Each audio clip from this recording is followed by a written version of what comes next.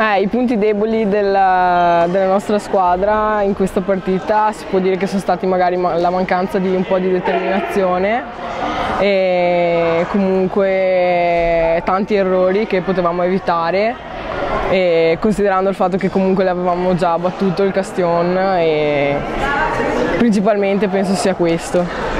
Il raggiungimento di questa finale si debba considerare come un punto di partenza. Il nostro obiettivo era fare bene ma sicuramente resta primario l'andamento del campionato che si disputerà da gennaio. Quello penso che sia l'obiettivo più importante e anche dove dobbiamo lavorare di più. Di più. Le ragazze in palestra mi sembra che stiano bene, bisogna solo trovare un po' più di continuità in partita perché per l'allenamento non ci sono grossi problemi.